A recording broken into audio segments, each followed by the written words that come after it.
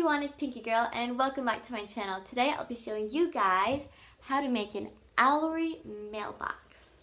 So super cute, I made it to fit my little owl here and if you live in a house of multiple people and you don't get the mail yourself, uh, you can ask them to put your mail right here, this little slot right here, and it's super cute. I find it super cute. And I just wanted like a place to put my owl that just felt grounded. I don't get mail sent to me personally, uh, so I just wanted a place to put my owl and I just think this is just really cute.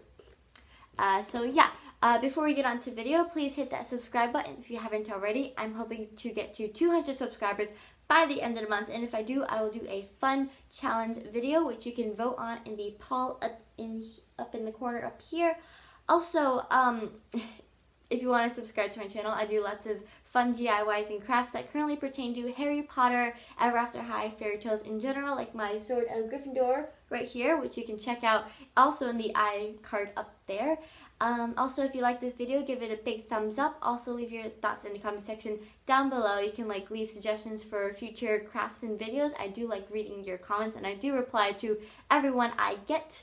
Um, so yeah, also follow me on Instagram. I posted lots of this stuff, lots of pictures of this stuff in my story uh, on Instagram before it went up. I was doing it all weekend, so if you are interested in seeing the crafts before they go up on YouTube, follow me on Instagram at pinki underscore girl 513. And I think that is it. And without further ado, let's get on to the video. Let's go! Okay, so starting off, I have a half circle that I have cut out, and the dimensions are 10 inches in diameter and 5 inches in radius, and that's just a perfect size that will fit my owl, so depending on your size of owl, you might have to change that. Then I have a piece of cardboard that I've rolled up, and it is cut to 16 and a half inches, and it fits perfectly around the outer edge of the half circle. And I'll leave all my measurements in the description down below so you can adjust based upon your owl. Okay, so now I have hot glued the back around the back side of the tower shape and as you can see my owl fits perfectly inside. Okay, so for the mailbox portion, I'm going to be taking these side pieces and they'll be hot gluing to the corresponding sides on the base. And I'll be taking another piece of cardboard to put on top of that.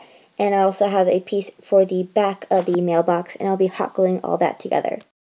Okay, so here's the mailbox portion all glued together. And now I'll be taking the uh, tower portion and the mailbox portion and hot gluing them together on top of each other. Okay, so now I'm going to be taking pieces of computer paper and I'll be glue sticking them down all the way around the raw edges so I don't have to see the corrugated cardboard or the cut cardboard, etc. And so how I'm going to be doing that is I'm going to be taking a piece of paper and I have it covered in glue and what I'm going to do is I'm just going to fold it over the raw edge and with it covered in glue I'm just going to smooth it down on either side nice and smooth as smooth as I can get it and then I'm going to do that all the way around. For the roof I'm going to be taking strips of cardboard that I've cut at an angle and I've been hot gluing them around to form a circular shape that will go nicely around the top edge of the roof of the tower. And here's the last piece, which I'm just going to hot glue and fit in right in there. After I glued the basic structure of the roof together, I'm now filling in all the gaps with other pieces of cardboard that are also cut to a point at one end, and I'm just going to be doing that all the way around.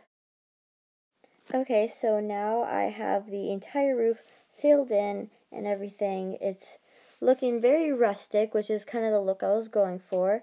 And now I'm going to be um, making a stone effect on the tower, which I've been doing with hot glue dots. And just to save hot glue, I'm just um, varying it as it gets to the back because it's not going to be seen as much. So it's more concentrated on the sides and then a little sparse near the back, just to save hot glue and money.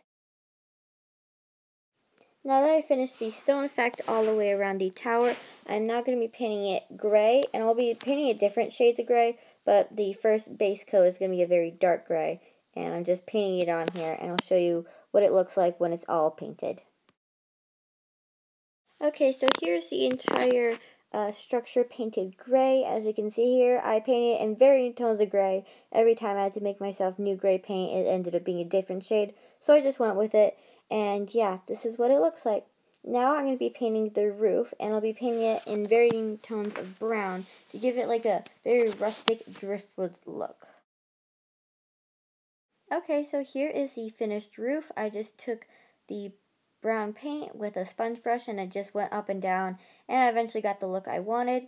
Now I'm just attaching it to the top of the tower. Now I'll add my little owl in and ta-da! This is the finished owl owlery mailbox. Ta-da! Okay guys, I hope you guys enjoyed that video. If you did, please give this video a big thumbs up. Also leave your thoughts in the comment section down below. Um, also, I really want to hit 200 subscribers by the end of the month, and if I do, I will do a fun challenge video. Uh, so yeah, you can vote on the challenge video up there, and also follow me on Instagram at pinki underscore girl 513 to get a sneak peek into my daily life and also a sneak peek at crafts before they go up live on YouTube. And uh, yeah, that is it. Uh, like, comment, share, subscribe, follow me on Instagram. And yeah, I think that is it. Until next time, I'm Pinki Girl. This is my channel. Bye, guys!